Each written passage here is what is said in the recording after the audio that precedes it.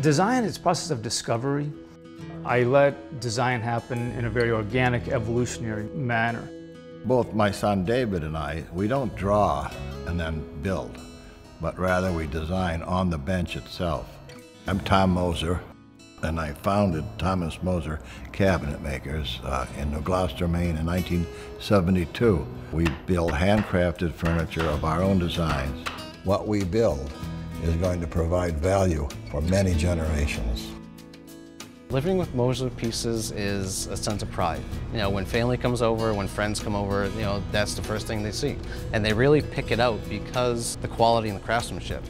We have guests come over from time to time and they look at the table and think, wow, that's spectacular. And then they sit in it and they say, this is so comfortable.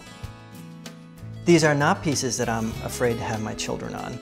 This is functional furniture that we want to use.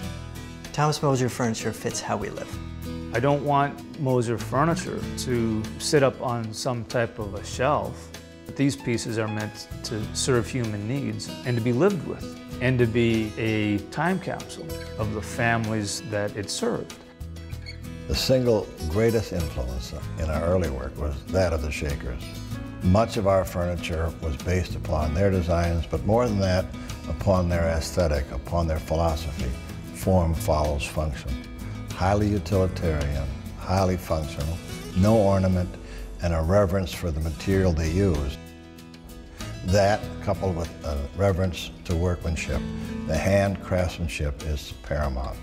Our reliance on, on handwork is still a, another hallmark of, of Moser furniture because to achieve the finished end, the feel, really can only be done by the malleability of, of the human hand.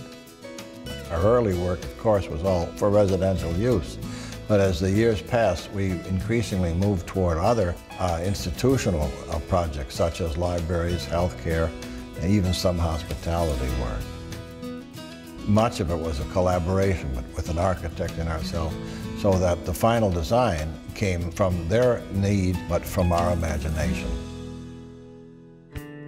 I knew about Thomas Moser probably about 10 years before coming here. I knew that if I wanted to work with wood, then this was the place to come. This was the all-star team of woodworking. This was, you know, the creme de la creme of building furniture that's going to be there for a lifetime. It gives you a good feeling inside knowing that a piece of furniture is going to somebody and it's the highest quality that you could possibly put out. That's what this company was founded on, you know, that's what Tom and Mary started the company from. We have a lot of repeat customers. They expect that out of us and we're known for it worldwide. If you know where something comes from, if you know how it was made, if you know who made it, it expands considerably its meaning. And the furniture we produce, I would like to think, has that expansion to it. People know that it was made by hands here in Maine. That's its provenance. Maine is a kind of a magnet. It's a center for fine woodworking. It's seen as honest, hardworking, committed to integrity, a significant number of the folks in the shop have been with us for over 20 years. That gives uh, testimony to the fact that they find a high level of meaning here. Each person that works here wants to create something. They want to be able to put their signature on what they build, you know, and stand back at the end of the day and be proud of it. The signature is the final stage of ownership. As a craftsman finishes a piece, that's something the craftsmen enjoy doing and take a lot of pride in doing. When I finish a piece, you know, there's a little me that goes with it. When a customer gets it, they're going to look at that, they'll see my signature on the piece. I know the people who built this. I know the people who built my bed. I know the people who built my table. And when I look at the corners and I look at the joinery, I can tell they put a lot of time and effort into making it right. One of our values is truth and purity.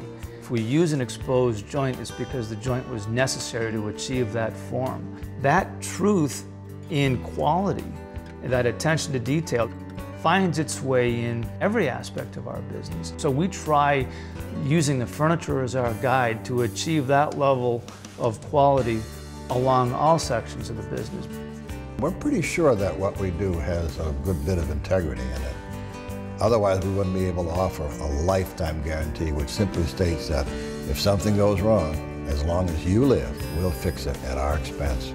That long, long life Therein lies the real value of Thomas Moser Furniture. We are more than the furniture. We are more than just design.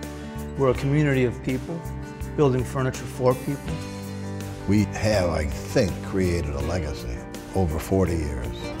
It's going to be a legacy based upon the efforts of many, many people, and it'll be sustained by the goodwill of the people who buy and use our furniture.